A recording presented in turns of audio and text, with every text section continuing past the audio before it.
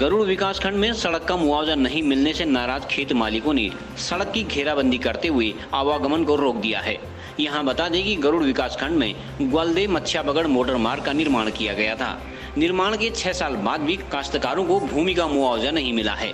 ग्रामीणों ने बताया कि कई बार सूचित करने के बाद भी जिला प्रशासन ने उन्हें मुआवजा देने की जहमत नहीं उठाई। अब ग्रामीणों ने कहा है कि जब उन्हें मुआवजा मिला ही नहीं है तो ज़मीन पर काश्तकारों का ही मालिकाना हक बनता है। लिहाजा वो अपने खेतों में फ़सल भी उगा सकते हैं। हम बहुत शुलिंग तो रोणी मैं सोरल ये वहाँ सात नाई और तीन जदू मुठ्ठी हनेल बा, हमको पता नहीं बा, हमको उबा मालूम नहीं बा, इदू दान करीब मैं सोरल ज़मीन में।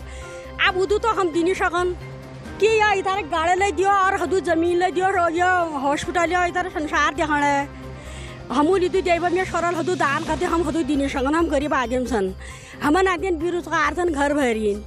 और आप लेबरी करबे दिन काटनी। छ साल गई छ साल पूरी में सतो साल लागनी छु आप इबा तक हमको मुआवजा नहीं मिल रही और आ हम क्या करूँ हम यहाँ खोदनु। और हम इम या क्या कहनी या उ लगनु और हम खोदबे हम रोबब लगन। एल हम या के नीला हल जब आप गेहूँ बुन ये मेरा नाम गणेश गोस्वामी है। और यहाँ करीब छः सात साल से यहाँ पर जो है यहाँ झूठ मूठ बोल के रोड लिया गया इधर।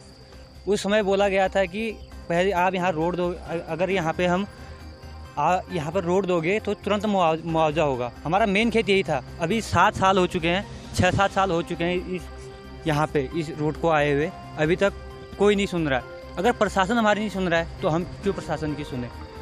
यहाँ पे हम दो भाई हैं। हम दो भाई डिवाइड हो चुके हैं और हमारे पास खेत है नहीं, हमारा मेन खेत ये है। सर यहाँ से दिखाइए एक बार, यहाँ से देखिए वो लास्ट दुकान तक, वहाँ तक ये खेत है। ये चार खेत का एक खेत था सर ये ये मेन खेत था हमारा।